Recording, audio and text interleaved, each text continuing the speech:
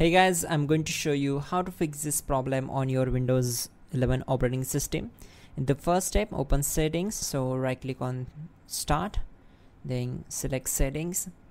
Once we are here, we need to uh, simply click on network and internet. Then on the right side, just scroll down and click on advanced network settings.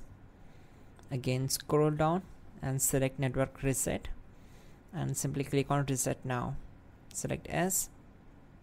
And once done close this window. Then go to search bar and type device manager. Then click here to open it. Once we are here just expand network adapters and right click on your network adapter. Select properties go to advanced tab go to drivers tab and click on update drivers. So check this option. The best drivers will be installed then close this window. Again you can select update drivers and check. Click on second option browse my computer for drivers. Then select this one. Select this and click on next. Once done close all windows one by one.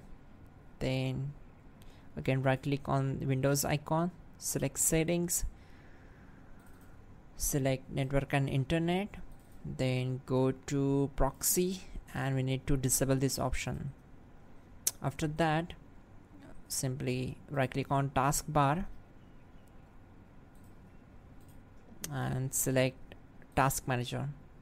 On this window click on run new task then select browse button. On this window we need to select this PC then open C drive then open Windows folder and find out system32 folder. So double click on it to open it then find out cmd.exe file. Here it is select it and click on open. Then check this box and click on ok. Once we are here we need to execute some commands. So type all these commands carefully and simply hit enter to execute them firstly type netsh space int space ip space reset space c colon backslash reset log dot txt and hit enter. Once done type in netsh space winsock space reset and hit enter. Now execute this command ipconfig space slash flush dns